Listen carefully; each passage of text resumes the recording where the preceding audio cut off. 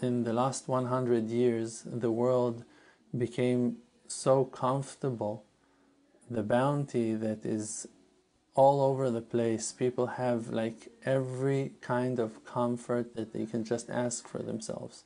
Things that the Creator made for a person in our generation out of His kindness and out of His unconditional love to us is so warming the heart that we were supposed to wake up and to understand that.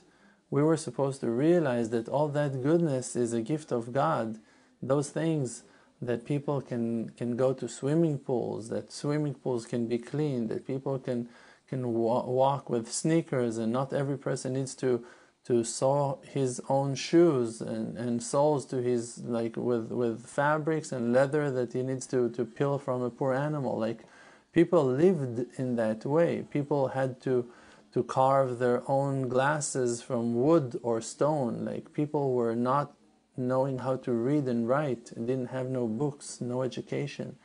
Today you go and you fix your fingernails and, and you buy a new suit and you order things online and, and, and all those things are, are not supposed to be taken for granted.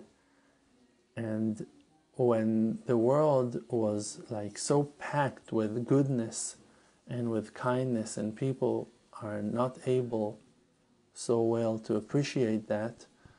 So from heaven, they they push the pause button, and now the world is on hold, and everyone are stuck. And now we need to come back and to understand that there's a message in it. And like someone told you, go to your room.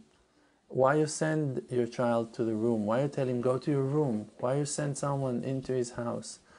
for him to rethink about his life, for him to think about his reality, for him to have appreciation for life, for his family members, for his hobbies, for his daily routine, for his schedule, for his friends, for his work, for his job, for his colleagues, for fresh air, for his sneakers, for every simple thing that he has in his life.